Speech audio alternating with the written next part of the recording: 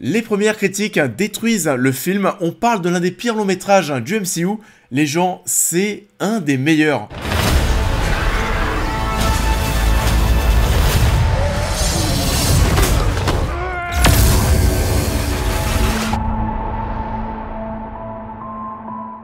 Bonjour à tous, j'espère que vous allez bien. On se retrouve aujourd'hui pour reparler du MCU. On a eu dernièrement Shang-Chi et Black Widow, on parlera bien sûr à la fin de l'année de Spider-Man No Home, mais en attendant, eh bah, on revient sur Eternals. Eternals est réalisé par Chloé Zhao, tout dernièrement Oscar de la meilleure réalisatrice en 2021. Depuis l'aube de l'humanité, les Éternels, un groupe de héros venus des confins de l'univers protège la Terre. Lorsque les déviants, des créatures monstrueuses que l'on croyait disparues depuis longtemps réapparaissent, les Éternels sont à nouveau obligés de se réunir pour défendre l'humanité. Bon, du coup, du coup, c'est quoi le bordel? Il y a eu quelques séances d'Eternals qui se sont déroulées en avant-première dans d'autres pays dans le monde et en France aussi la semaine dernière, du coup des projections privées, et tout le monde a commencé à détruire le film. Alors c'est long, c'est chiant, il n'y a rien à sauver, etc. Sur Rotten Tomatoes, au moment où je tourne cette vidéo, c'est le film du MCU qui a le pire score pire que Thor 2 par exemple. Résultat, j'y étais sans attente, presque à reculons, je me disais que ça allait être chiant vu que tout le monde le disait, mais ça va pas du tout, c'est dans le haut du panier de l'univers. Je ne sais même pas par où commencer à part vous dire que c'est une quasi totale réussite, que ce soit en termes de direction artistique, de rebondissement, même les scènes post-génériques sont cool. Et attention, pas seulement la première, les deux scènes post-crédit sont cool généralement, vous le savez, la deuxième scène post-générique c'est souvent une blague, un petit truc osef, un petit bonbon, un petit truc que t'as en plus à la fin de, bah, de ta séance. Là, non, c'est cool aussi. On va bien sûr revenir sur tout ça en partie spoiler, mais déjà la grande première attraction du film, et bah c'était Chloé Zhao. Qu'est-ce qu'elle allait nous donner? Qu'allait nous donner un auteur, quelqu'un d'oscarisé derrière un film du MCU, et bah pour la réalisatrice après Nomadland, c'est encore une réussite. Welcome to Badlands Spa. What the nomads are doing is not that different than what the pioneers did. Ceux qui ont vu Nomadland, on va pas se mentir, Chloé Zhao à la tête d'un film du MCU, on ne pouvait pas le prévoir, on ne pouvait pas l'imaginer, et ça fonctionne. On ressent clairement la patte de la réalisatrice, on sent son amour pour la nature. Cette nature qu'on va filmer de manière très pure, très naturelle, on a comme d'habitude beaucoup de plans sur des couchers de soleil bien sûr. Des plans qui sont vraiment très très jolis, on va aussi très souvent changer d'endroit et de temps. Vous allez le voir, on en parlera là aussi en partie spoiler, mais au niveau de la narration, on va un petit peu partir dans tous les sens, et à chaque fois que l'on change d'endroit, on a des plans de malade. Par exemple, je sais pas, on part en Amazonie, on va voir le petit texte en bas Amazonie, et on a tout le temps des plans aériens de fou. Je pèse mes mots, vraiment, en termes de shoot, en termes de constitution de plans, c'est le plus beau film du MCU. On a vraiment beaucoup de passages qui sont sublimes, c'est très rare dans l'univers, mais on sent qu'on n'est pas avec un Yes Man ou une Yes Girl, on est avec quelqu'un qui a une identité. Quelqu'un à qui Marvel Studios a fait enfin confiance pour la laisser développer son film avec ses propres idées. Clairement, sur ce point, c'est tout bon et on espère que d'autres réalisateurs auront cette chance. Do we have? Seven days.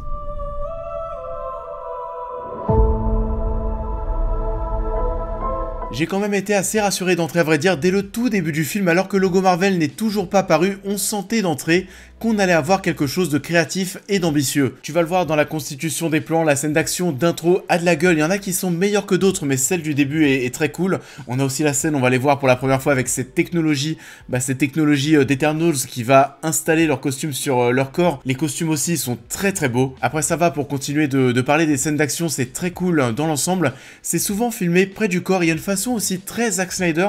On va reparler aussi mais un côté un petit peu DC Comics, ça on peut le dire. Au niveau de la tonalité du film, il y a de l'humour, mais quand même, euh, c'est quand même plus sérieux que, le MCU en règle générale. Euh, il y a ce côté aussi très divin quand on va voir bah, les pouvoirs de tous les, euh, de tous les héros. La tonalité plus le côté divin de toutes ces personnes, le côté très sérieux qui se met en place, c'est le film du MCU le plus DC Comics. Et c'est souvent filmé très près du corps pour ressentir l'impact des coups, c'est puissant, c'est très très fort. Et pour revenir sur l'intro, tu découvres hein, les pouvoirs de tout le monde, ça aussi c'était très tendu, mais les éternels, ils sont 10. Il y a 10 personnes que tu dois découvrir, qu'on doit te présenter, tu dois retenir les pouvoirs de tout le monde. Tu penses, c'est vrai, au début que tu vas pas tout retenir, que ça va être un bordel. Et eh ben en fait non. T'arrives finalement, et ça c'est vraiment une prouesse, à te familiariser avec tout ce petit beau monde. Tu sais qui fait quoi, qui a quel pouvoir. Les personnages sont assez différents malgré une alchimie qui fonctionne. On est presque dans un délire Umbrella Academy, dans une sorte de drame super héroïque familial. Et tout ça, qu'est-ce que ça va créer? Pas mal de rebondissements qui sont plutôt cool.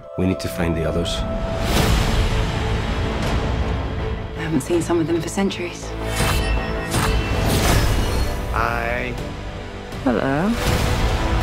Et c'est en ça aussi que le film est très différent, ça va peut-être diviser, mais pour le coup ça m'a énormément plu. On bosse bien plus les personnages et leurs relations, tout comme l'image. C'est plus contemplatif, on prend le temps vraiment pour tout, les 2h30 de film, et bah ça les vaut totalement. À aucun moment j'ai senti qu'on étirait le tout pour rien. Et ça ne plaira peut-être à pas tout le monde si ce que vous souhaitez c'est surtout de la grosse baston, mais on ne va pas bouder notre plaisir, ça fait du bien. En tout cas, vous l'avez compris, on a beaucoup de choses à dire en partie spoiler, j'ai été totalement conquis par Eternals. C'est un véritable renouveau dans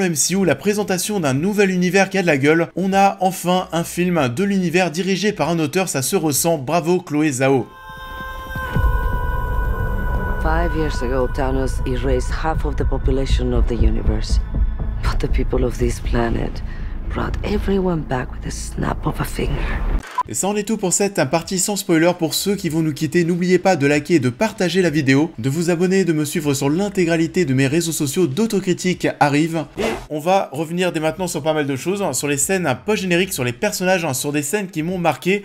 Enfin voilà, il y a des choses à dire, on spoil.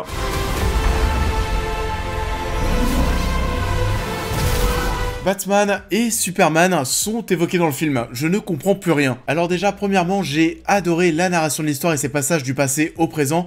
Au début du film, les passages dans le présent étaient quand même moins convaincants. J'étais content, ça faisait un petit peu penser lorsque, bah, lorsqu'on jouait Assassin's Creed, euh, bah, on était toujours content de retourner dans le passé, et bah là c'était un petit peu pareil. Dès qu'on arrivait dans le passé, c'était très cool. Le présent, au début, un petit peu moins. Mais du coup, la narration est très cool, elle nous permet d'avoir pas mal de surprises, pas mal de rebondissements. Ça, c'était très très bien. On va avoir bien sûr euh, bah, de, de la non efficacité de la non-action des, euh, des, éternels lorsque, bah, lorsque Thanos était là. Bon, Là, c'est vraiment dit en deux phrases au début du film. C'est euh, bah du coup euh, l'actrice qui joue euh, Cersei qui le dit à Kit Harington. Allez, avalez ça, c'est bon, c'est dit, et puis on passe à autre chose. On a un énorme twist en milieu de film qui m'a mis mais totalement sur le cul. Cette histoire est vraiment, mais c'est désastreux, c'est très triste. Cette histoire de on doit détruire l'humanité pour créer les, les Célestes, c'est horrible. On est sur une histoire qui est plus sombre, qui est plus mature, avec de gros enjeux, c'est très dangereux.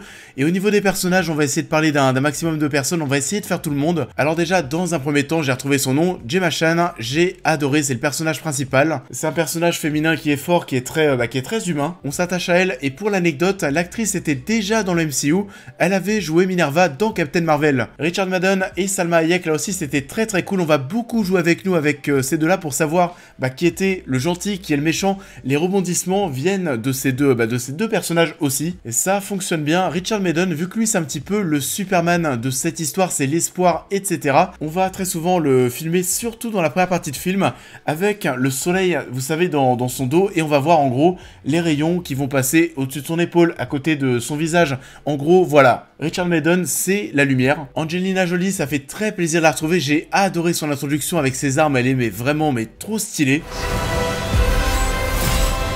Kingo, je l'ai trouvé excellent, il est super drôle, tout son délire d'acteur-réalisateur de, Bollywood indien avec le mec qui le, qui le suit pour faire le, documentaire, c'était vraiment très très cool. Fastos, hein, c'est un personnage aussi qui était très attachant et le premier héros ouvertement gay de l'univers il me semble. En vrai, on s'en fout, je le dis parce que voilà, ça faisait parler, ça faisait partie de la, communication, mais qu'il embrasse une fille ou un garçon, on ne devrait même pas le relever, on s'en fout. Gilgamesh qui te faut des droites bien violentes, c'était très très kiffant. Sprite, j'ai bien aimé la fin parce que le personnage devient un petit peu plus humain. On voit qu'elle a un souci, qu'elle a envie de, grandir, etc. Mais bon, ça vient un petit peu de, nulle part, on n'en parle pas trop durant le film. Ça sort un petit peu de nulle part malheureusement. Et Drogue et Macari, j'ai bien aimé cette relation qui est très fusionnelle, comme un frère et une sœur. Elle, c'est la Flash de la bande et on voit qu'elle peut rivaliser en effet avec le Superman des Eternals. Elle est très forte. You can't protect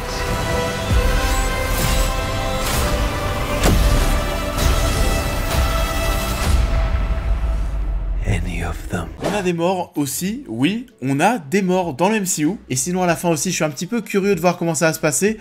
On voit Arishem revenir chercher les 5 Eternals qui, bah, qui l'ont trahi, on le voit se dévoiler au grand jour. Normalement, à partir de ce moment-là, le monde est au courant. Les Avengers le sont aussi. Qu'est-ce que ça va donner? Ça ne doit absolument pas rester sous silence et on y vient enfin. On peut parler des scènes post-génériques. La première, la grosse surprise. Alors, c'est pas une surprise en termes de, voilà, de, personnages, parce qu'en soi, les Eternals, il n'y a pas beaucoup de personnes qui vont aller voir ce film en sachant qui sont les Eternals, mais surtout, la grosse surprise, c'est une surprise de casting. Harry Styles rejoint le MCU.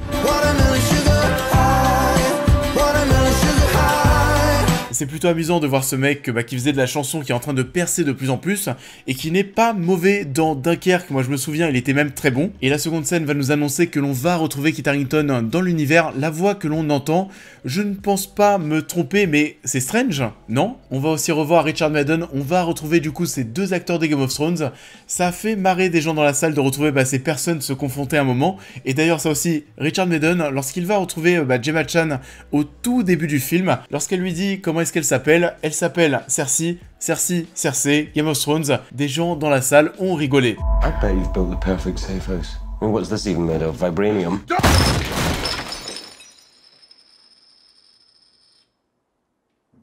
Fall collection. Ikea. Ça en est tout pour cette critique, j'espère qu'elle vous aura plu comme d'habitude. Je vous invite à la liker, à la partager, à me dire en commentaire ce que vous avez pensé de l'œuvre en question, à me suivre sur l'intégralité de mes réseaux sociaux pour plus de news et réactions à l'actualité, mais aussi à devenir membre soutien si vous souhaitez soutenir mon travail, et on va se retrouver très vite sur la chaîne pour cette prochaine critique. You used to be strong, macho. I used to be a lot of things, but I'm not now. Du coup oui, changement de registre, la semaine prochaine, on va parler du prochain film de Clint Eastwood. Et si vous n'avez pas suivi, on va aussi se retrouver dès ce week-end pour lancer les critiques des Pirates des Caraïbes. Du coup voilà, pas mal de choses. Je vous souhaite à tous une très belle continuité de semaine. Allez voir Eternals, c'était vraiment très bien. J'espère que vous allez autant que moi. Je vous dis à bientôt sur la chaîne.